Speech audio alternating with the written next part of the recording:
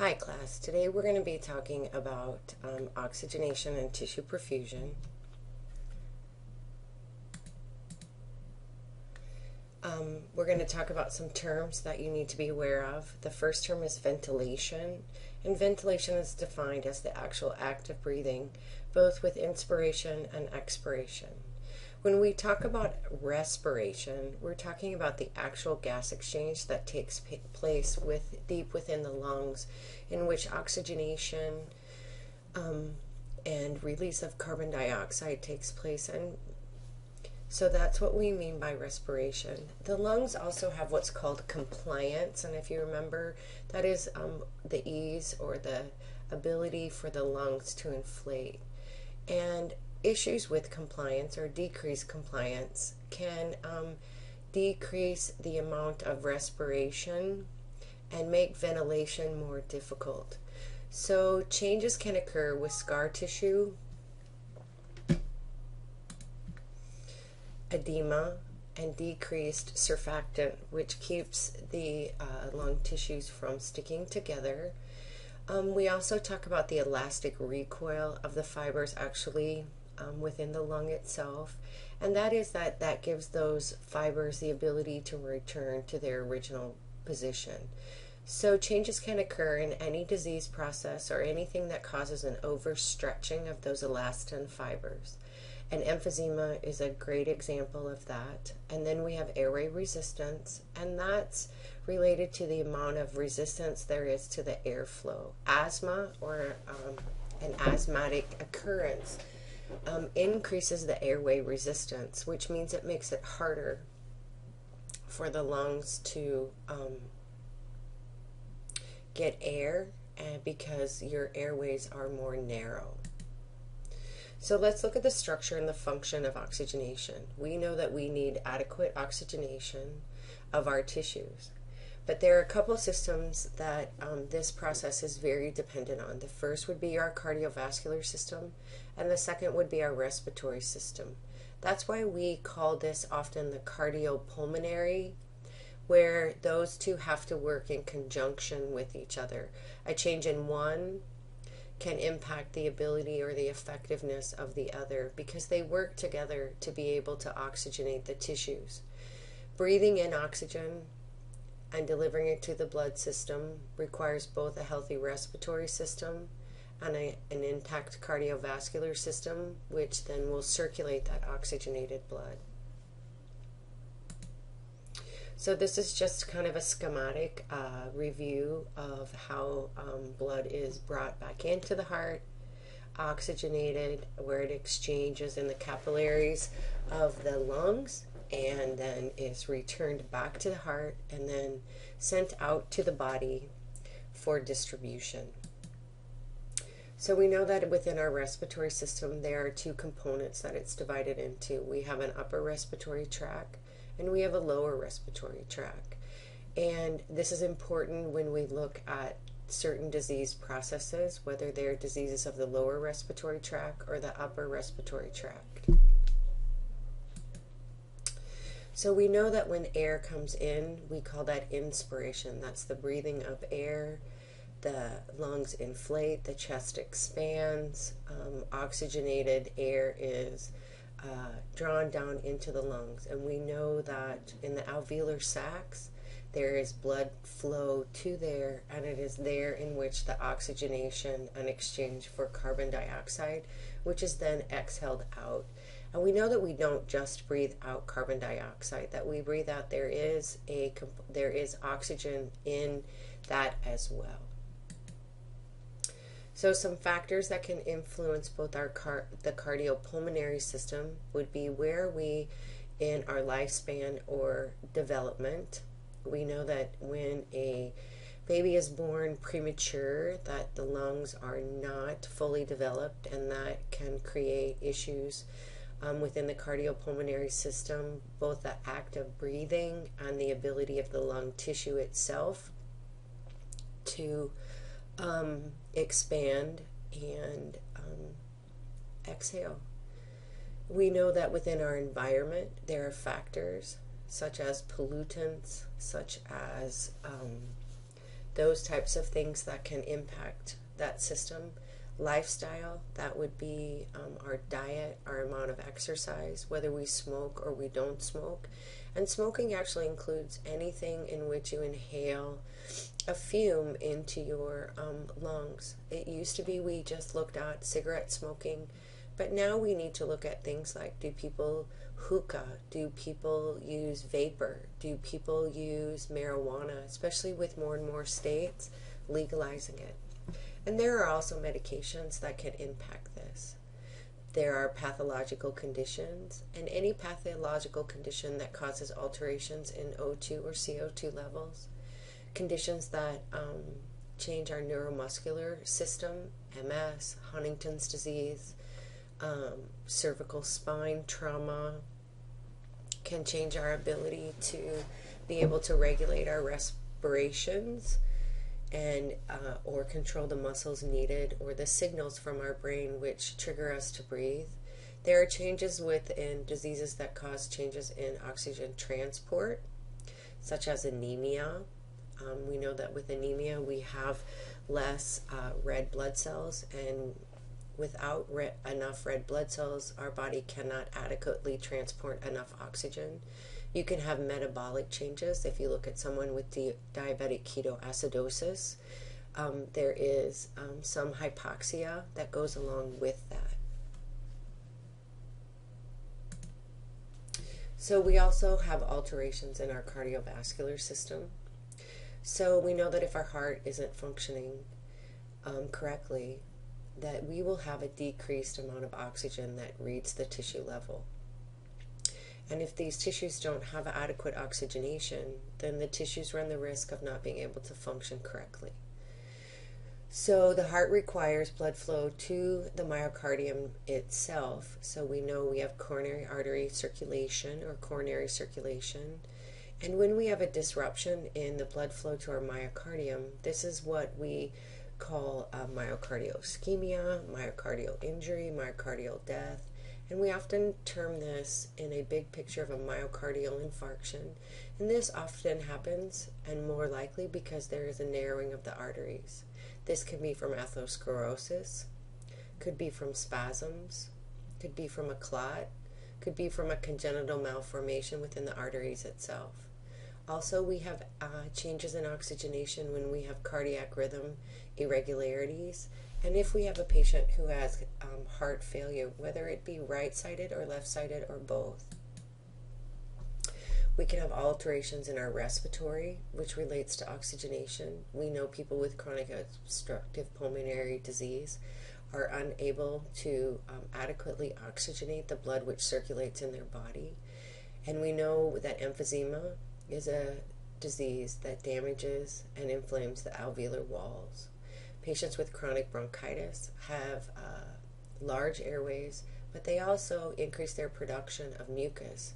And this mucus um, can impede the ability of gases to diffuse across the membrane. Pneumonia can cause alterations in respiratory and the ability of the oxygen to exchange. And we also have atelectasis, which is a small collapse of lung tissue in which if there's a collapse because of um, infiltrates uh, and uh, mucus plugs, then um, there's no gas exchange that takes place in the area, aerial distal to this collapse. This is just a picture for just to kind of jog your memory of what it looks like to have asthma, emphysema, or bronchitis and how that impacts um, the ability to get oxygen in, the ability to diffuse the gas across the membrane. So, what do we look for when we're nurses? Assessment is key for us often. So, we're going to start with a health history. We want to do some focus questioning. We want to know why the patient is here or what is their current complaint. It may be that they're feeling short of breath or that they can't catch their breath. It may be an acute or it may be a chronic issue. We're going to gather subjective data. This is the data that the patient tells us verbally. So we're going to look at his health history. We're going to look at their past medical history. We might look at medications that they're telling us that they're getting. So then we're going to gather our objective data. And that's the information we gather during our assessment. So we're going to do a focused cardiopulmonary assessment. And we're going to do this on patients who have um, decreased oxygenation. They look short of breath. They're working extra hard to breathe. They have visible cyanosis. They're complaining of a difficulty getting their air. They're unable to do activity without either feeling very fatigued or very short of breath. And maybe they have a history of cardiopulmonary um, disease. So we're going to look at vital signs. That includes blood pressure, respiratory rate, and apical and peripheral pulses. We're going to watch the chest. We're going to see if there's any abnormalities that we visualize, but we're also going to look at the muscles that are used to breathe. Are they using them more forcefully? Are they using all of them? Do you see both sides of the chest rise and fall? Do you see them struggle to get an air in? Do you notice whether inspiration or expiration are longer than they should be? We may palpate over the pericardium. We're going to assess, if we can, for any um, abnormal vibrations. We're going to listen to both heart sounds and lung sounds. We're going to listen and note a cough if they have one, and that needs to be evaluated. The type of cough it is. Um, is it um, produce sputum? Does it not produce sputum? Is it dry? Is it hacky? We also want to look at the vascular system. Do they have edema in their extremities? We're going to look at the peripheral vascular system. We're going to look at pedal pulses. We're going to look at their skin color. We're going to look at the texture of the skin. Is it dry? Is it moist? Are they diaphoretic? And we want to know what their capillary refill is. We might do some laboratory and diagnostic testing. Now, every patient may not get all of these, but these are options that are available um, to help um, with your assessment. You might look at a patient's forced vital capacity. Um, we might look at the forced expiratory volume. We might look at the forced expiratory flow. We might look to see if they have a residual volume. This might be important in a patient who has um, emphysema. We want to know how much air trapping are they having um, how much volume do they really um, expire when they breathe out? Um, how forceful can they get their air out? And we do want to look at residual volumes because then we want to assess for air trapping in patients with chronic with COPD. We might run some laboratory tests. We might do a CBC. Um, things that a CBC can tell us is um, the amount of red blood cells, hemoglobin, hematocrit, uh, we might look at their WBCs to see if they um, have an infection going on. We might look at some things that might uh, tell us their ability to actually carry the transporters. We might look at a metabolic panel where we're looking for renal function. What is their glucose? Because we know that we're going to have um, some problems if our patient is diabetically and diabetic ketoacidosis, or perhaps they're, super, they're severely hypoglycemic. And we want to look at any type of electrolyte imbalance. We might look at arterial blood gases. Arterial blood gases assess both the oxygenation status and the acid base balance. So when I look at an arterial blood gas, I look for my acid base balance. So I will look at pH, CO2, and bicarb and I want to know where my patient stands. But I also need to look at the PO2 and the calculated O2 saturation because I need to know if my patient is hypoxic. So remember when you're looking at arterial blood gases to look at both the acid base balance, if there's one, and also the oxygenation status of your patient. Sometimes they may look at lipid panels. What this might help us with is if patients with hyperlipidemia, we know that they're at higher risk for coronary artery disease. And we know that coronary artery disease narrows the vascular system of the coronary arteries. And it can actually do changes in any artery that we have. And so, therefore, um, we might see pulmonary hypertension in patients Rare, but it can occur. But we know with narrowing, um, it tires the heart muscle, and a weakened heart muscle is not able to pump the oxygenated blood to the body as well. You might see people do cardiac enzymes, um, and these um, are done on patients with chest pain or signs and symptoms that they might be having a myocardial infarction. It helps us determine if there was damage to the heart muscle itself. Some other tests, you might see a patient receive a chest x ray. And in a chest x ray, it allows us to look at the lung tissue. It allows us to look at the bone structure, such as ribs, to determine are there fractures. We can also look at the trachea to see if we have a tracheal deviation or any tracheal um, blockage, such as perhaps a tumor. But we can also get a silhouette of the cardiac heart and so often, sometimes we can see if a patient might have an enlarged heart on x ray. We might do an electrocardiogram. So we're going to look at the electrical activity of the heart. The picture you see here is um, a normal um, one singular beat or one normal electrical cardiac cycle of the heart. And um, we look for abnormalities in that changes in the QRS, changes in the ST segment, changes in the P wave, the PR interval. And these, if there are changes, can have some impact on um, uh, blood circulating uh, to the body as well as um, things going on within the heart muscle itself. Some patients may receive an echocardiogram, which is a, like a heart ultrasound. So, what they're looking for there is are there any heart defects, perhaps from birth? We might be able to see pericardial effusion, which is fluid around the heart itself. So, if there's fluid in that sac, it is harder for the heart to contract because that fluid is constricting um, the muscle itself. We can look for disorders of heart valves, which, if our heart valves have changes or abnormalities, um, it may make it harder for that valve to open. The valve may be narrow, which means it's going to take a greater force and create more workload on the heart. Or the valve may just not be able, those leaflets close adequately, and so then you get backflow into the backward um, vent- to the backward inlet.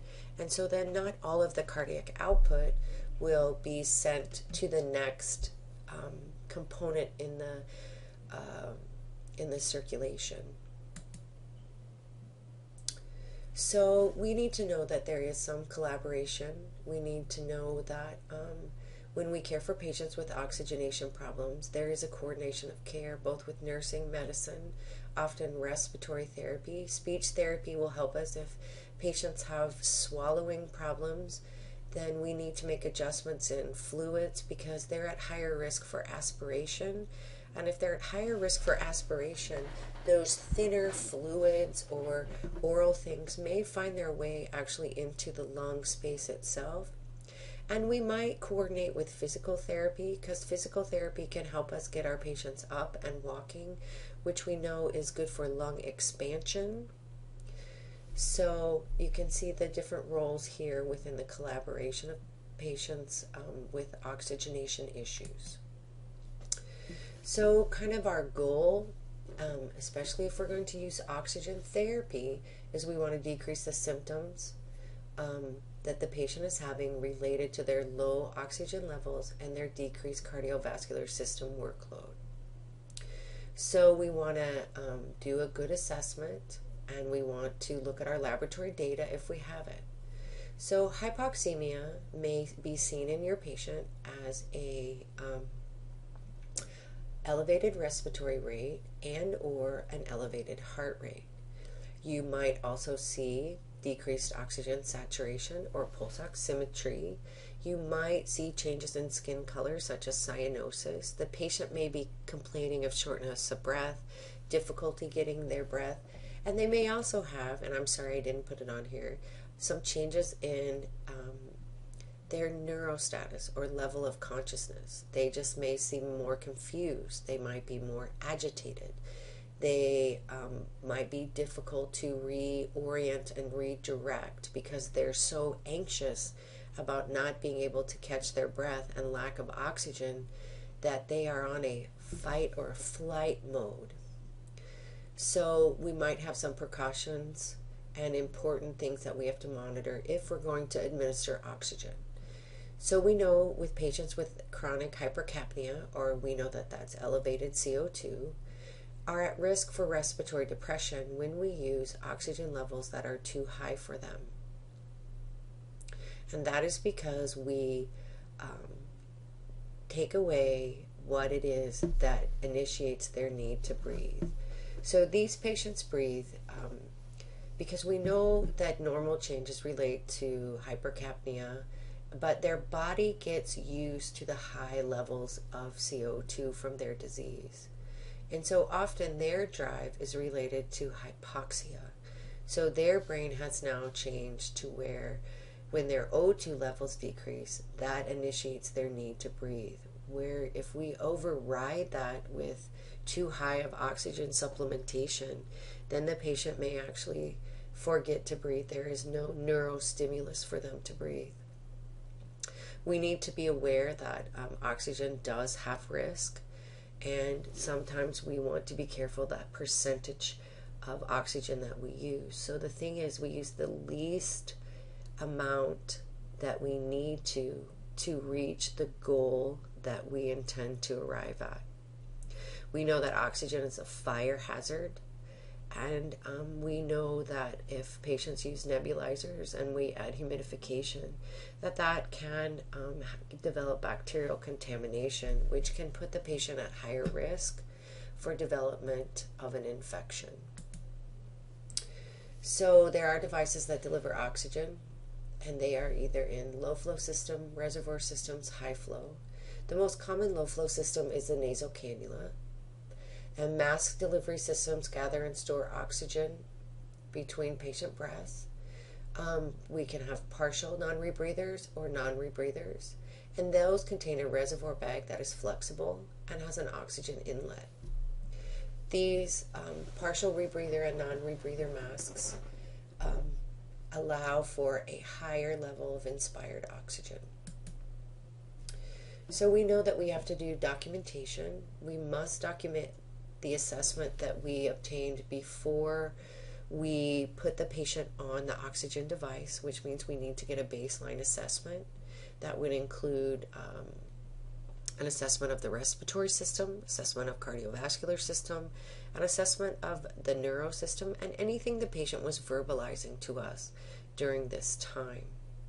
We want to know what the patient's vital signs are, and that includes oxygen saturation as well. And then we um, initiate our oxygen therapy, and then about 15 to 30 minutes, we reassess those. We need to know if the change that we made impacted the patient's um, or it did what we wanted it to do. So if I put oxygen on a patient, my intention is I'm going to decrease their respiratory distress and I'm going to improve their oxygen level. And so I should see hopefully a decrease in agitation, an improvement in respiratory rate, which means it will be less. They will do less work of breathing. I might see less anxiety. But the big key is is that I, am I seeing an improvement in my O2 saturation? And if I am, then and I'm at the goal, say 95%, then I know I have the patient is on the level of oxygen that they need to be on. Um, but if they're not, I'm either going to, I'm either going to have to increase or change the mode at which I deliver that oxygen at. You might also see CPAP or BiPAP applications, um, and these are uh, additional mechanical things that actually help force the air into the lungs.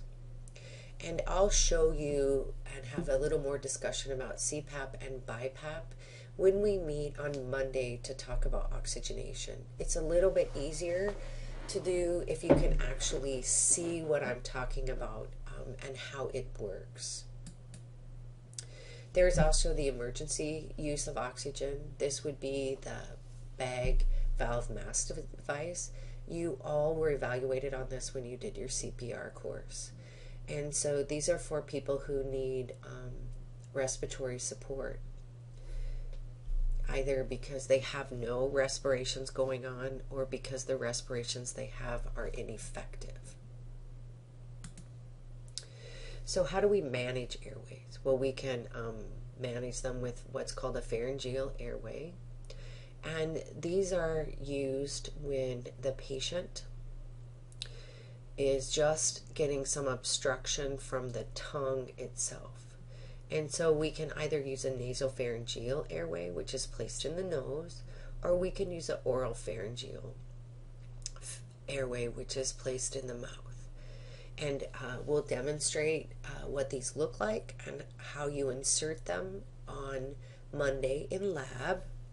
And these are the extra key points of documentation that you would need to have if you were using either type of airway. You'll often see patients on what we call a nasal cannula. Um, the pictures show you what it looks like. Um, nasal cannula is low flow. The oxygen itself is sent into the nares or the nose. We want to be sure that we look at the skin both behind the ears and under and in the nares for redness or breakdown before we apply these because we are going to have this plastic tubing laying against those skin structures.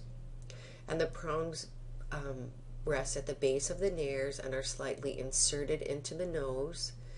Um, we use uh, one to six liters of oxygen and if we're going to go four or greater than four, we need to consider adding some humidification because the nasal cannula or nasal oxygen um, is drying to those membranes of the nares.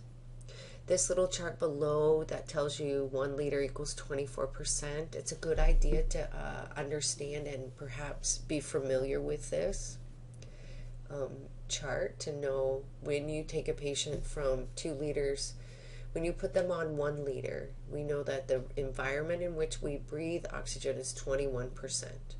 So when we add one liter, we take them to 24%.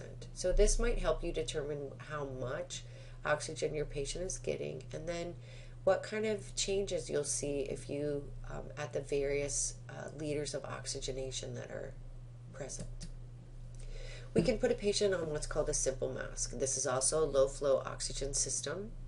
And we set our oxygen either to 5 to 10 liters.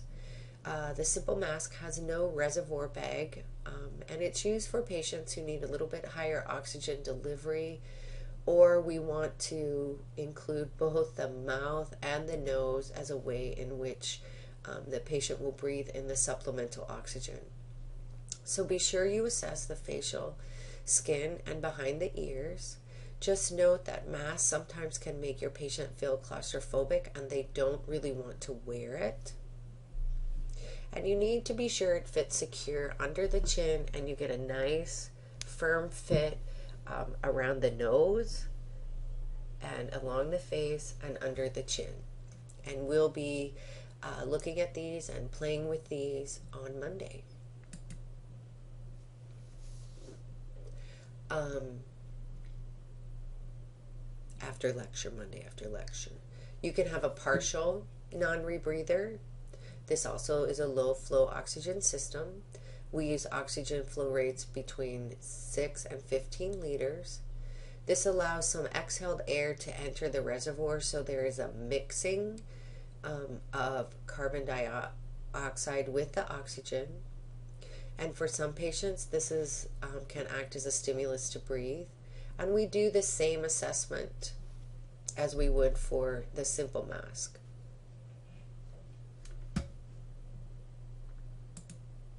So then we have the non-rebreather mask. This is also a low flow system. The oxygen flow rates um, are 10 to 15. The oxygen percentages should read 60 to 100. That zero um, I must have typed two, so please note it's 60 to 100. Once again, 60 to 100. There are valves um, on this mask, and in the picture you can see the orange disc, and that is the valve. And what this is, is that it prevents the exhaled air from actually leaving the mask. But it also, pre- okay, and then the reservoir, which is the bag, has a one way valve. So when the patient breathes their exhaled air, it doesn't, um, uh, they don't breathe it, um, they aren't allowed, the exhaled air isn't going to go into the bag. So they aren't going to breathe any mixed uh, CO2. They're going to be breathing in 100% oxygen or the percentage that you set it at that's in that bag. So they're not going to have any mixing of environmental air. It's very important that we make sure that the reservoir, um, some manufacturers you won't actually see an inflation of the bag, some you will, but we want to make sure that we have a good fit and the same assessment as any other mask. What you might ask yourself right now, and I'm sure you're all wondering, is how do I know which um, oxygen mask to use? Some of that comes to uh, is related to the physician order. The physician may say nasal cannula. The physician may say non rebreather. And so then that decision is made for you um, because of the physician order. Uh, sometimes it's going to be uh, a nursing judgment, which means you're going to have an order that reads such as titrate FiO2 to keep oxygen saturation greater than 94%. And so then what you have to decide is how am I going to get that? We often, for the most part, use the nasal cannula unless the order asks us to put on a mask. And however, okay, and then let's say I have a patient who is uh, suddenly very hypoxic. Uh, I come in, the O2 saturation is 78, they're having trouble breathing, their skin color is dusky. I would suggest that you go at the best oxygenation choice, and that would be a non rebreather mask at 15 liters. Because the patient will be receiving in this emergent situation through the oxygen mask 100% oxygen. And then after the patient gets stabilized and we understand what the contributing factors were, we will work at taking the patient or titrating down the patient to uh, not only an oxygen percentage, but a mode of oxygenation that is both the most comfortable for the patient and achieves the goal of oxygenation that we're looking for. Some patients may be on what's called a Venturi mask. This is a high flow oxygen system because we have really specific control over the amount of oxygen or percentage of that the patient is getting. The Venturi mask is similar to another mask. It does have the exhalation ports. Um, it has a flexible tubing. But we have this dial here so that we uh, put our flow rate up, but our oxygen percentage is not related to our flow rate. It's either related to the colored adapter attached in the picture that you see, or some may have a dial, so you can set it for 40% and 32% on etc. This is often helpful in patients with uh, who retain CO2 because we can get a more specific percentage of oxygen and we have a tighter control to help prevent um, the depression of their hypoxic drive. Patients can have tracheal airways. So these are airways that actually go into the trachea. So there are a couple choices. You can either have a tracheostomy, which is done with a hole in the neck area and the thing is inserted into the trachea, or patients may have what's called an endotracheal tube, which are either inserted orally or nasally and also go into the trachea and sit just before the bifurcation of where you break off to the right and left bronchia. So now we're going to talk about suctioning because that's part of our maintenance of patients. And we do this with patients who who need our assistance to clear their airway. Um, secretions are removed via a catheter or some type of removal device that is connected to a suction source. And the suction source is set to um, low to medium suction between the low and medium. We never want to set it on high suction because that's just too much suction force. Um, it is sterile for when we are entering the tracheal airways. And if we're using, um, if we're going down the nasopharyngeal airway and um, down towards the back of the throat. However, when we use a Yankauer for oral suctioning, that is aseptic. And um, we always want to assess um, the patient if they who is in respiratory distress first, and then we're going to suction them. But even if they're not in respiratory distress, we do a good respiratory assessment, we do a good secretion assessment so that we have our baseline in which to reassess the patient upon the completion of our suctioning. Routes of suctioning can include oral or nasopharyngeal, and these are for patients who cannot effectively cough out their secretions. We can do oral tracheal or nasal tracheal. And these are patients who can't even really cough, um, but the secretions are in the oral or nasal tracheal area. And then we can do tracheostomy or endotracheal suctioning, which is the type of suctioning when a patient has an artificial airway. And as far as suctioning goes, we will be doing some hands on uh, practice, setup, and understanding of the actual process when we meet at on Monday after this lecture um, to talk more about this. So, how do we maintain and promote lung expansion? So, patients can receive chest physiotherapy, and these include things such as postural drainage, coughing and deep breathing, and the use of incentive spirometer.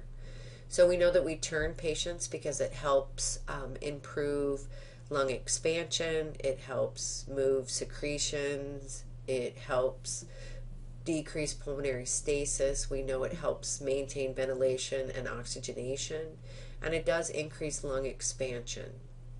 And so um, we also have them deep breathe and then cough so that we can get um, as much lung expansion as we can which is beyond our normal um, average when we're just breathing when we sleep, we get a better and fuller lung expansion when you actually ask the patient to deep breathe.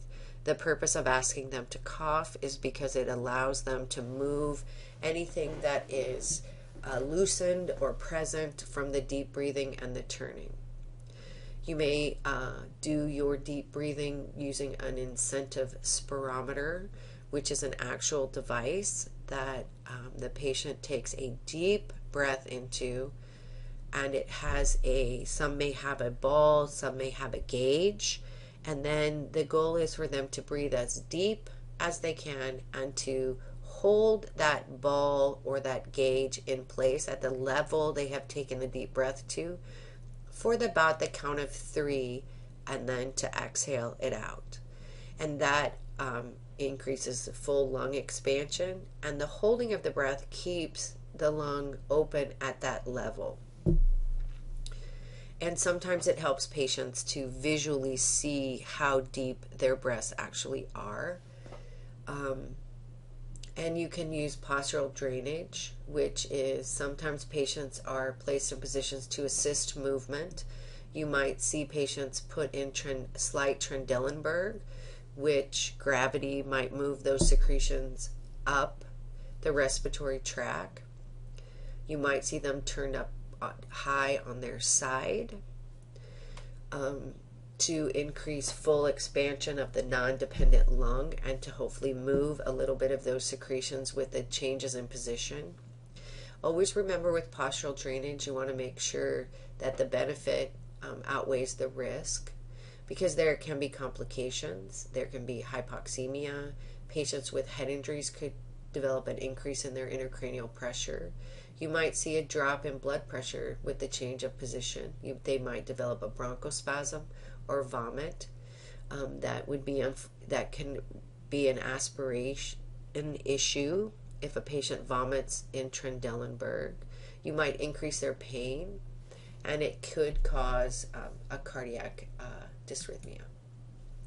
Medications. So we know that there are medications that are used for lung disease itself, and the purpose of these are to decrease the symptoms, improve the patient's ability to exercise, which means would increase their exercise tolerance. They would might become less short of breath, less fatigue, have more energy. It can decrease the number of exacerbations of their chronic health issue, and they may be used to improve the overall health status of the patient. Types of medications you might see are oral bronchodilators, inhalation therapy bronchodilators. These are both uh, rescue as well as uh, routine uh, meter dose inhalers. They might be on anticholinergic agents, steroids to decrease infl- inflammation, vaccines to prevent things such as pneumonia and influenza. They may be on antibiotics acutely for um, a certain disease.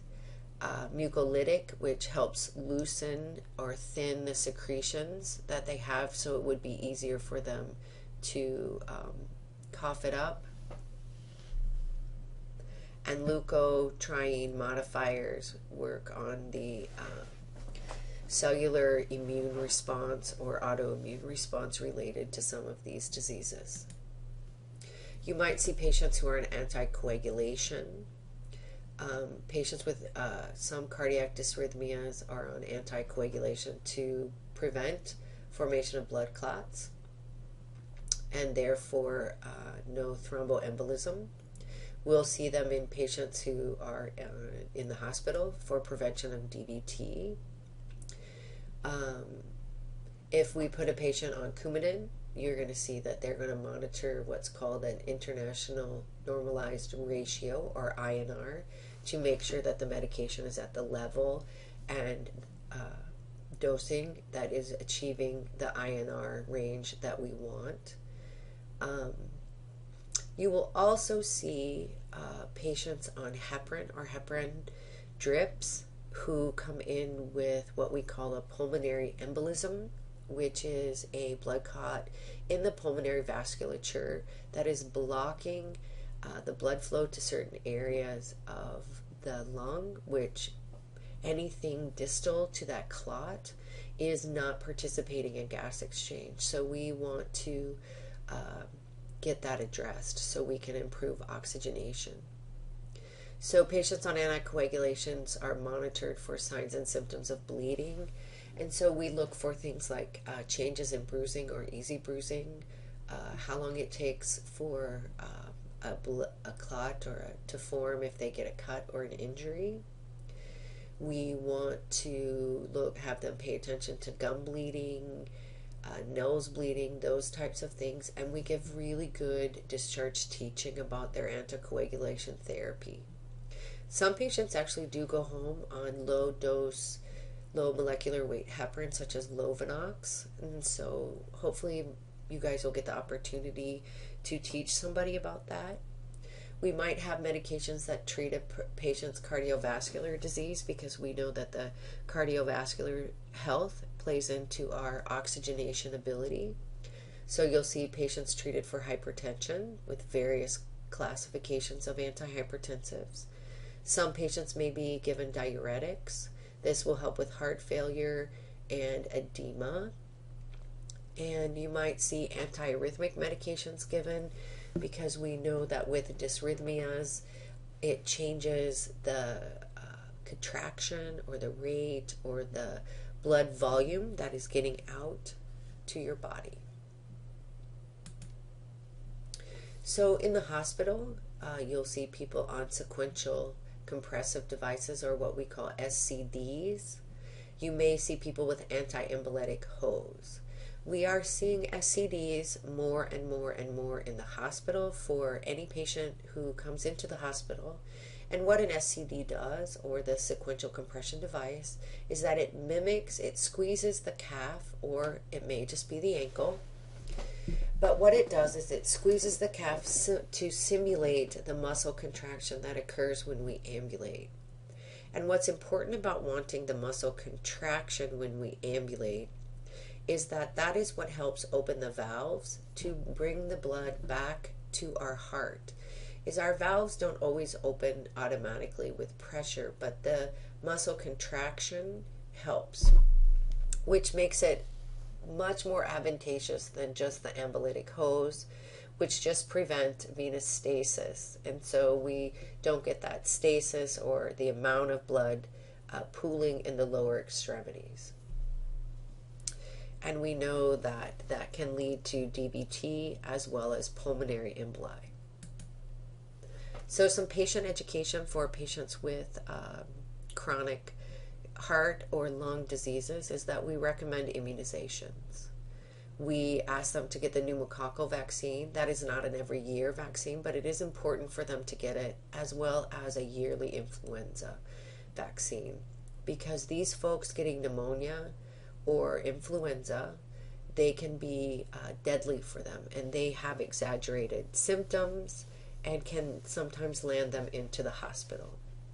We need to help patients control risk factors, such as exposure to pollutants, um, in fact, exposure to um, diet to help with weight, development of coronary artery disease, and we also, any patient that is smoking, regardless of the source of the smoking, as I talked before, is that we need to have conversations about smoking cessation, which is stopping smoking.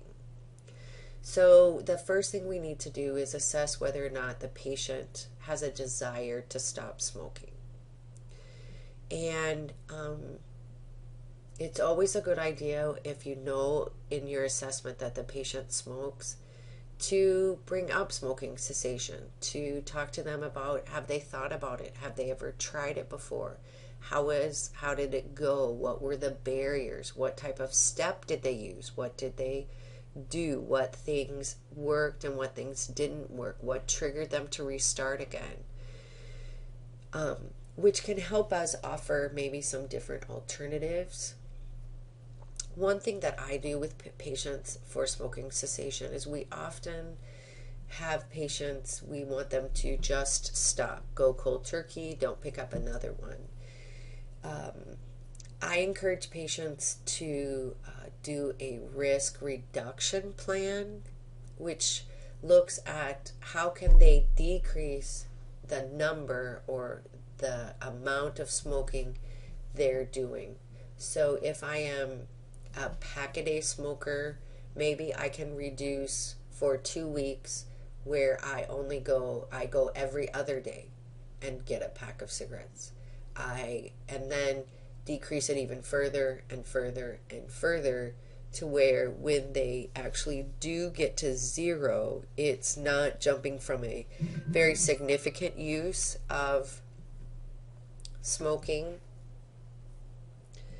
but to a um, less amount of smoking.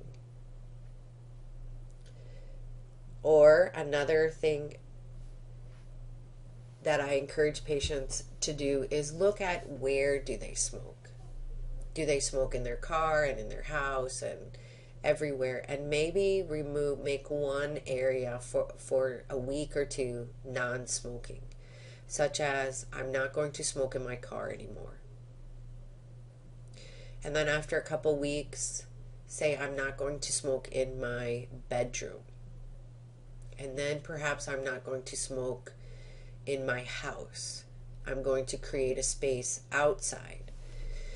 And then the more they have to work for the smoke or cigarette or whatever it is, the more time they have to stop and think do I want to do this? Because many people smoke out of habit and they don't even really pay attention anymore to when they light up a cigarette. It's just second nature for them. It's just some ideas. You can also make recommendations about pharmacological treatments. Um, there's Chantix, Wellbutrin, nicotine patches, behavioral treatments, and community education programs available for them. So, here's some patient education related to health literacy. And this goes to components of what makes a successful smoking cessation program. The biggest thing that is successful is that the patient believes the behavior change they are going to make is going to have a positive outcome for them. That is what they need to buy into. So, when we look at oxygenation or poor oxygenation or changes in oxygenation, there are legal, ethical, and professional things we need to think about. We know that there are life and death decisions that can get made. We look at um, DNR statuses. Uh, we look um, at whether our patient is, say, do not resuscitate. We look at advanced directives that deal with the use of artificial airways or ventilation. We look at whether or not there is a medical power of attorney who is able to make the healthcare decisions for that person.